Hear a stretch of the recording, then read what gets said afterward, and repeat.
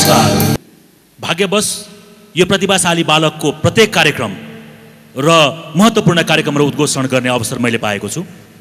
उसको पहिलो एकल कार्यक्रम ऊ सम्मानित भएको कार्यक्रम ऊ विशिष्टता हासिल गरेको र खास गरिकन मनोरञ्जनको दुनियाँका विविध कार्यक्रमहरू र आज यो सहित मैले उद्घोषण गर्ने मौका पाएको छु र सिरिज अहिलेसम्म आइपुग्दा सिरिज कसरी भयो तपाईँले थाहा पाउनुभएका र थाहा नपाउनुभएका पाटाहरूको प्रस्तुति यो दृश्य सामग्री यहाँ।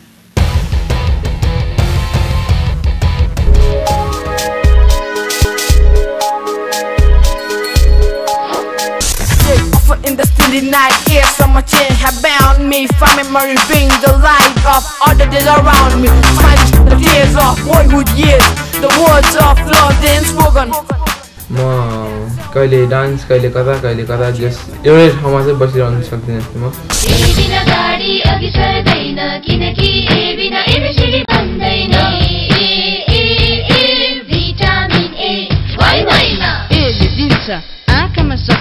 म एकदम सकसके खालको थिएँ अनि मलाई चाहिँ जे देखे नि एकदम क्युरियोसिटी हुन्थ्यो मलाई जे देखे नि गरिहाल्नु मन लाग्थ्यो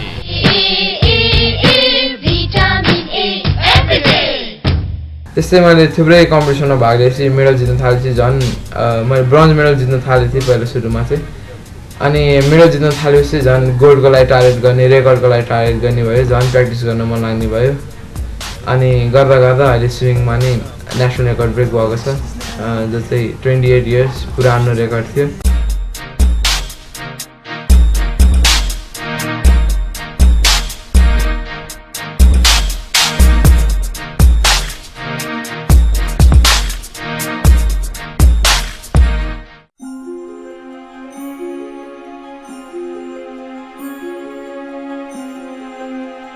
मर्निङ सोज द डे अर्थात् भनिन्छ बिहानले दिनको सङ्केत दिन्छ।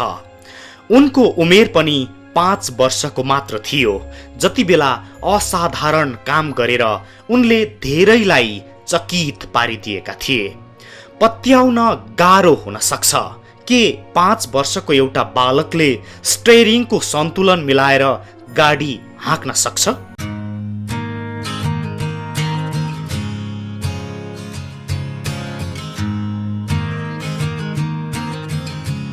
तर उनको दृढ इच्छाशक्ति र प्रयत्नबाट यो सम्भव भयो।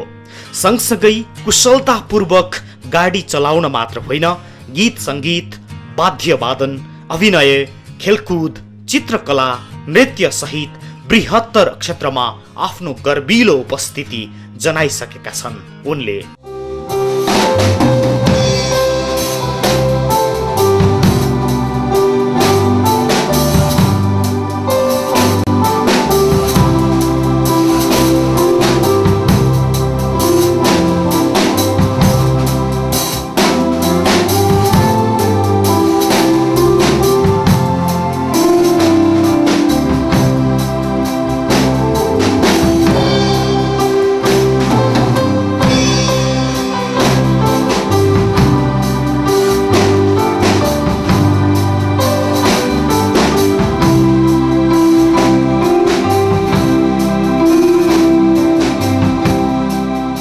राष्ट्रिय स्तरका थुप्रै पत्र पत्रिकामा हामी देख्न सक्छौँ उनको सफलताको प्रेरणादायी कथाहरू। र यस्तो बहु प्रतिभाशाली किशोर हुन् शिरीष गुरुङ।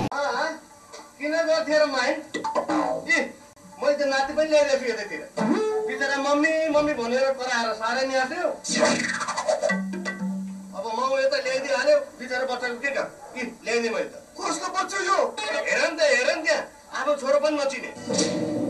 अब तिम्रो छोरो भयो। यो उसकी आमा तिमीले ल्याएपछि तिम्रो छोरो भयो नि त यो। हेर हेर हेर चिट्ठा पर्यो चाहिने कुरो पो त गर्नुपर्छ। ठट्टा गर्नु पनि एउटा हद हुन्छ नि। हजुरबा मम्मी खै त। भित्रै होली नि तेरि मम्मी। अहिले आइहाल्छ नि। बरु अहिले त यहाँ नयाँ बाबासँग यसो परिचय गरेर खेल्दै गर। हँ? पर्दैन। यस्तो बच्चासँग खेल्ने उमेर हुँदैन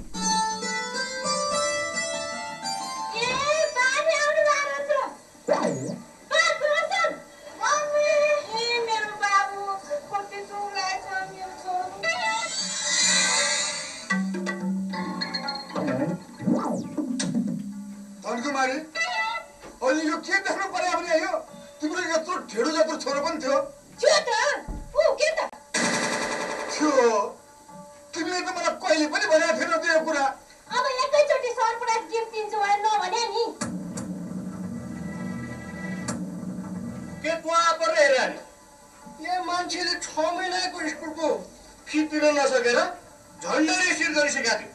यी यो सर्टिफिकेट यो स्कुलको बिल। अब तिर्ने। स्कुल पनि टाढा छ यो चाहिँ सारिदिनु। एक्लो छोरो हो के अरे बरु बोनस गरिदिनु। मरण गर्नु पर्यो होइन? ए बा कहिले आउनुहुन्छ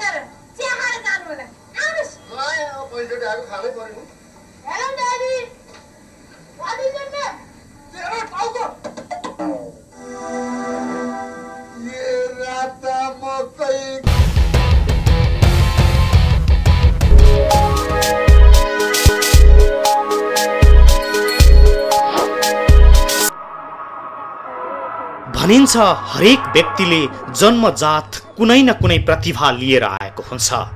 तर त्यस्तो प्रतिभा पहिचान गरेर त्यसले हुर्किने फुल्ने अनुकूल वातावरण पाउनुपर्छ। बुबा श्रीराम गुरुङ र आमा सपनाको कोखबाट जन्मिएका श्रीषको हकमा यो अनुकूलता मिलेको थियो। त्यसैले त उनको प्रतिभा प्रस्फुटन भयो। सानैदेखि जिज्ञासु स्वभावका शिरीषले आफ्नो इच्छा वा चाहनामा खुम्चिएर बस्नुपर्ने कुनै बाध्यता रहेन। पढाइमा दक्खल शिरीष अतिरिक्त गतिविधिमा अग्रपङ्क्तिमा छन्। खेलकुद सङ्गीत र अभिनयमा एक फरक उचाइ लिइसकेका छन् उनले।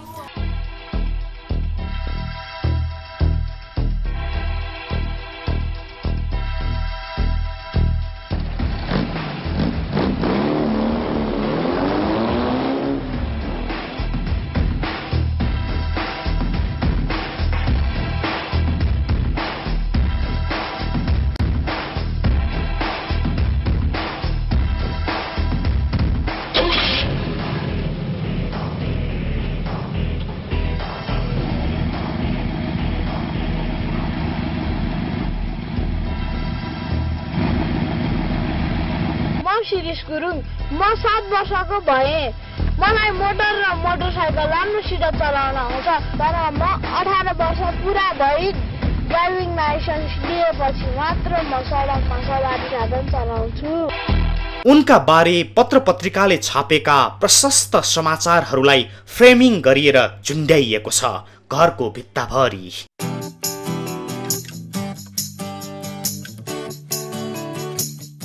कोठामा प्रमाणपत्र र मेडलहरू सजिएका छन्।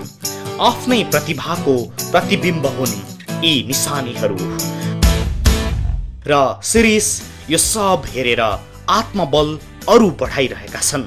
उनले गरेका हरेक सार्थक कर्मलाई हेरेपछि भन्न मन लाग्छ स्याबास शिरीष सबै नेपालीका छोराछोरीले तिमीबाट प्रेरणा लिन सकुन्।